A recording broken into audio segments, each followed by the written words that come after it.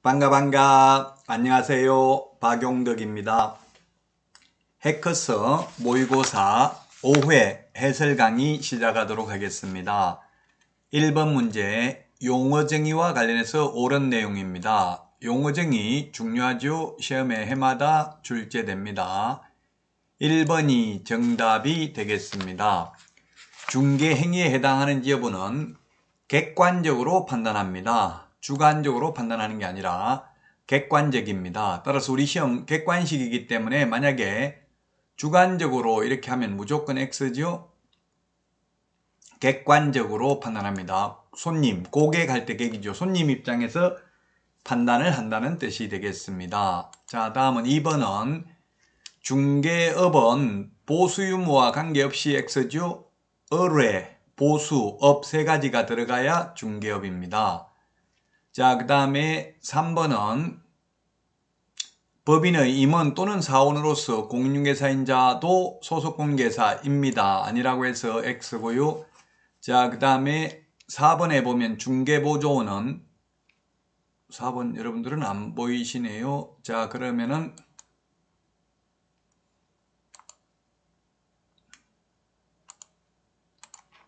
4번을 보도록 하겠습니다. 4번. 자, 4번. 중개보조원은 공인중개사가 아닌 자로서 개업공개사의 중개물을 보조하는 자를 말한다.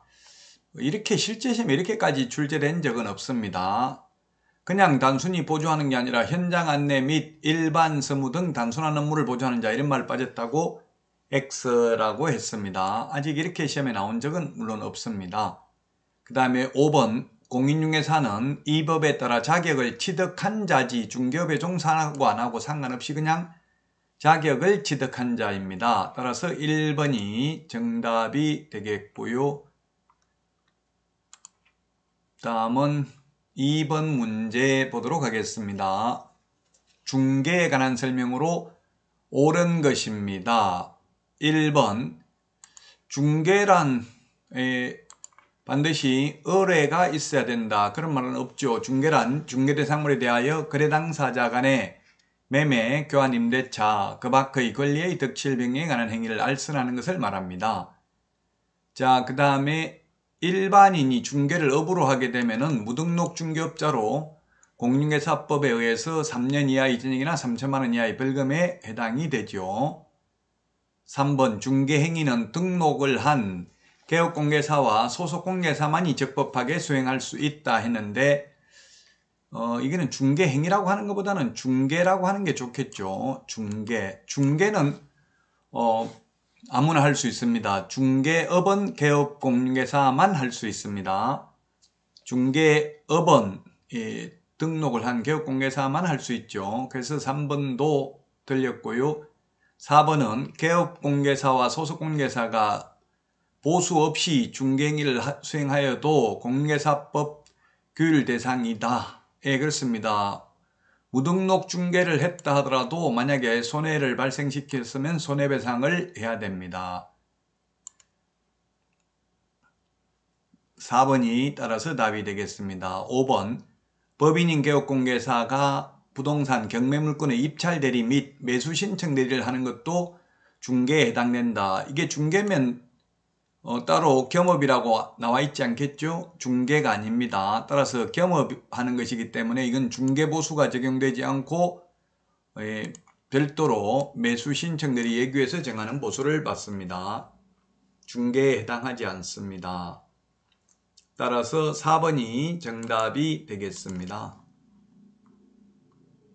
다음은 3번 문제입니다. 중개 대상물에 해당하지 않는 것은 했는데 정답은 3번이죠. 이 소위 3번이 권리금입니다. 예, 권리금은 중개 대상물에 해당되지 않습니다.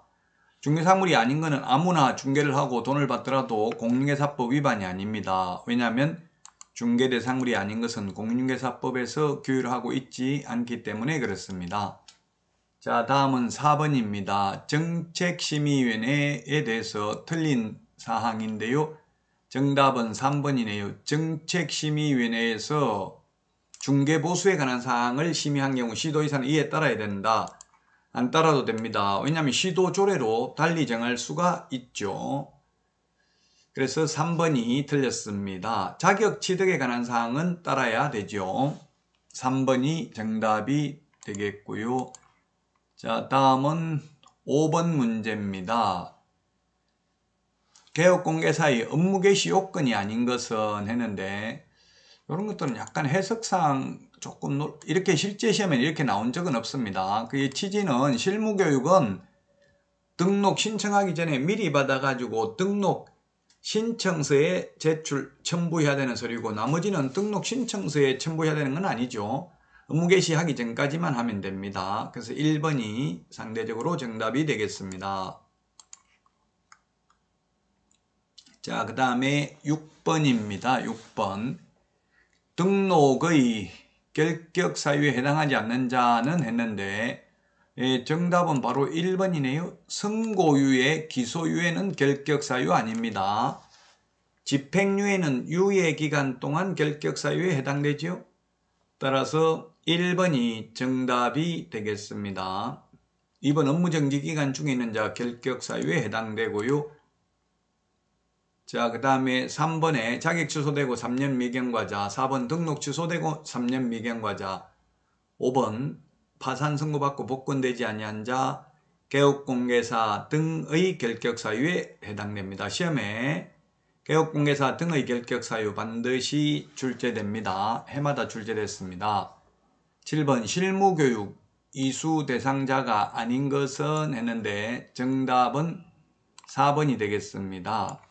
4번은 명문 규정은 없고 유권 해석입니다. 종별 변경, 즉 부칙개공이 중개업을 하다가 계속해서 자격증을 취득해서 공인중개사인 개업공개사로 종별을 변경하는 경우는 업무의 연속성을 인정하여 따로 실무교육을 받지 않아도 된다라고 유권 해석하고 있습니다. 유권 해석은 시험에 잘 나오지는 않죠.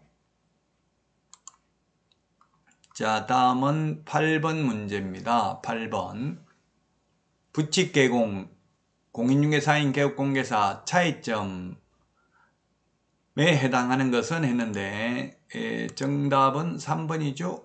겸업에 대해서 차이가 있습니다.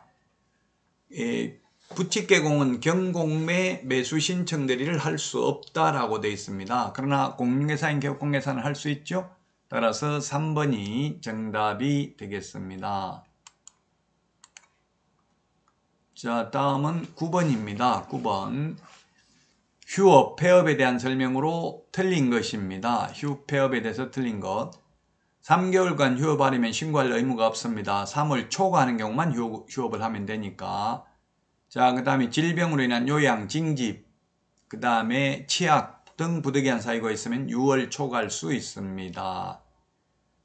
3번은 폐업하고자 하는 경우 미리 등록증 첨부해서 등록관청에 신고해야 되고요. 4번 폐업신고, 휴업신고는 전자문서 안됩니다. 자, 5번이 정답이 되겠네요. 휴업, 폐업, 재개, 변경 모두 미리 사전 신고합니다. 사전 신고. 그래서 통보해야 된다. X가 되겠습니다. 통보가 아니라 신고가 되겠습니다. 신고. 5번이 정답이 되겠고요. 자, 다음은 10번 문제입니다. 틀린 것인데 간판 철거 의무에 대해서 틀린 것입니다. 예, 정답은 4번입니다. 4번.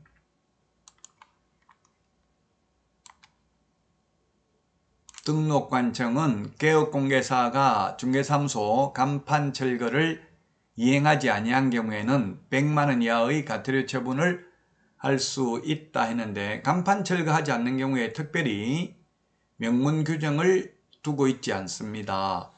간판 철거하지 않는 거. 사무소 이전 우리 여기 지금 해설에는 업무정지 처분할 수 있다 이렇게 돼 있는데 명문 규정은 없습니다. 물론 굳이 해석상 그 밖에 이 법 또는 이 법에 의한 명령 위반으로 업무정지는 가능할 수도 있을 것입니다. 해석상. 그러나 예를 들면 폐업을 해가지고 간판 철거 안 했는데 폐업을 했으면 업무 정지 못하죠. 폐업하고 없는 사람에게. 예, 그래서 등록 취소도 마찬가지잖아요. 등록 취소되면 간판 철거하잖아요. 등록 취소되고 없는 사람한테 업무 정지 처분할 수는 없죠. 그래서 어쨌든 4번이 틀렸습니다. 각태료가 아니고 명문 규정 없고요. 간판 철거 안 하면 행정 대집행법에 따라 대집행만 하고 그 비용만 청구를 하게 되겠습니다. 따라서 4번이 정답이 되겠습니다. 자, 여기까지 하고 쉬었다가 하도록 하겠습니다. 수고하셨습니다. 안녕히 계세요. 안녕.